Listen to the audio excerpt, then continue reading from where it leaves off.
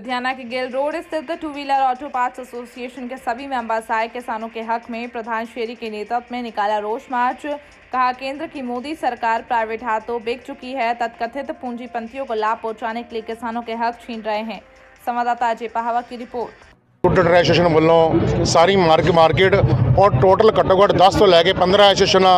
ਬੰਦ ਹੋਈਆਂ ਨੇ, ਸਾਰੇ ਸਮਰਥਨ ਦੇ ਰਹੇ ਆ ਕਿਸਾਨ ਕਿਸਾਨ ਭਰਾਵਾਂ ਦਾ। ਔਰ ਅੱਜ ਜਿਹੜਾ ਸੰਘਰਸ਼ ਕੀਤਾ ਗਿਆ, ਜੇ ਇਹਨੂੰ ਸੰਘਰਸ਼ ਨੂੰ ਹੋਰ ਤੇਜ਼ ਕਰਨ ਦੀ ਕੋਸ਼ਿਸ਼ ਕਰਾਂਗੇ, ਜੇ ਇਹਨਾਂ ਨੇ ਆਪਣੇ ਕਾਲੇ ਕਾਨੂੰਨ ਨਾ ਵਾਪਸ ਕੀਤੇ, ਤੇ ਅਸੀਂ ਇਹਨਾਂ ਨੂੰ ਕੋਸ਼ਿਸ਼ ਡੇਲੀ ਤੋਂ ਡੇਲੀ, ਅੱਜ ਨਹੀਂ ਕੱਲ ਨਹੀਂ, ਪਰਸੋਂ ਨਹੀਂ, ਰੋਜ਼ ਧਰਨਾ ਦਿੱਤਾ ਜਾਊਗਾ। ਜਿੰਨੀਆਂ ਸਾਡੀਆਂ ਐਸੋਸੀਏਸ਼ਨਾਂ ਨੇ, ਇਹ ਨਹੀਂ ਕਪੜਾ ਵਪਾਰੀ, ਇਹ ਨਹੀਂ ਸਕੂਟਰ ਵਪਾਰੀ, ਜਿੰਨੇ ਵਪਾਰੀ ਨੇ, ਸਾਰੇ ਕਿਸਾਨਾਂ ਦੇ ਨਾਲ ਨੇ।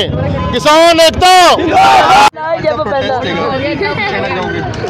ਜਦੋਂ ਰਾਜੇ ਮੌਜਾਂ ਕਰਨ ਤੇ ਲੋਕੀ ਭੁੱਖੇ ਮਰਨ, ਉਦੋਂ ਕ੍ਰਾਂਤੀ ਆਂਦੀ ਹੈ ਤੇ ਹਿੰਦੁਸਤਾਨ ਦਾ ਇਤਿਹਾਸ ਗਵਾਹ ਹੈ। ਜਦੋਂ ਜਦੋਂ ਹਿੰਦੁਸਤਾਨ 'ਚ ਮੁਗਲਾਂ ਨੇ ਜਾਂ ਕਿਸੇ ਵੀ ਵਿਦੇਸ਼ੀ ਤਾਕਤਾਂ ਨੇ ਜਾਂ ਅੰਦਰੂਨੀ ਤਾਕਤਾਂ ਨੇ ਪੰਜਾਬ ਦੀ ਧਰਤੀ ਦੇ ਉੱਪਰ ਹਮਲਾ ਕੀਤਾ ਹੈ ਤੇ ਕ੍ਰਾਂਤੀ ਪੰਜਾਬ ਤੋਂ ਹੀ ਸਟਾਰਟ ਹੋਈ ਹੈ। ਇਹ ਅੱਜ ਵੀ ਕ੍ਰਾਂਤੀ ਪੰਜਾਬੀਆਂ ਨੇ ਲਿਆਉਂਦੀ ਹੈ, ਜਿਹੜੇ ਕਾਲੇ ਕਾਨੂੰਨ ਜੋ ਇਹ ਕਿਸਾਨਾਂ ਦੇ ਅੰਗੇਸ਼ਟ ਮੋਦੀ ਸਰਕਾਰ ਵੱਲੋਂ ਪੇਸ਼ ਕੀਤੇ ਗਏ ਹਨ ਅਸੀਂ ਆਪਣੇ ਵੱਲੋਂ ਪ੍ਰਧਾਨ ਗੁਰਮੀਤ ਸਿੰਘ ਸ਼ਹਿਰੀ ਵੱਲੋਂ ਪੁੰ- ਸਮੂਹ ਪੰਜਾਬੀਆਂ ਵੱਲੋਂ ਇੱਕ ਅਪੀਲ ਕਰਦੇ ਹਾਂ ਸਰਕਾਰ ਨੂੰ ਕਿ ਜੇ ਇਹ ਕਾਲੇ ਕਾਨੂੰਨ ਇਹਨਾਂ ਨੇ ਸਰਕਾਰ ਨੇ ਵਾਪਸ ਨਾ ਲਿੱਤੇ ਤੇ ਇਹ ਸਾਡਾ ਸੰਘਰਸ਼ ਹੋਰ ਵੀ ਤੇਜ਼ ਹੋਵੇਗਾ ਤੇ ਇਹ ਜੋ ਇਸ ਦਾ ਖਮਿਆਜਾ ਸਰਕਾਰ ਨੂੰ ਭੁਗਤਣਾ ਪਵੇਗਾ